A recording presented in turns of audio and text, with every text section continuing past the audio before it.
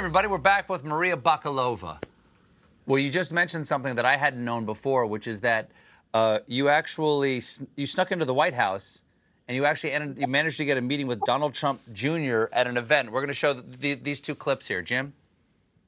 I know this because they take my daughter into the White House. No need for security checks or COVID test. They boring. You take care of yourselves. Thank you very much.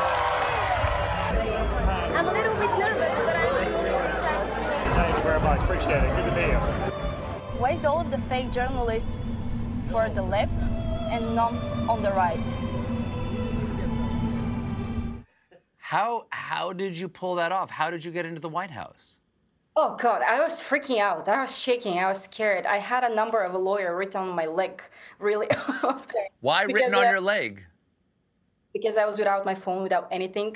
Uh, and I was, if I make it from here, I'm gonna be so grateful to the universe and to Sacha and the whole, team. Because you're going to the White House without security team because they have special sources or what is the word there. Sure. And you're literally going there alone. and it was extremely scary. Uh, but I made it with my passport and my name there. And I got there, and it was interesting. It was beautiful. Just quite scary because not everyone was wearing masks.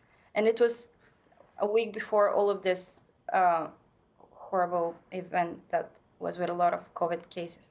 Yes. um, well, I'm glad you were safe. Thank you so much for being here. Congratulations again. Good luck and have fun at the Oscars. Thanks, Thank Maria. you. Thank you. Borat's subsequent movie film is available now on Amazon Prime. Maria Bakalova, everybody. We'll be right back.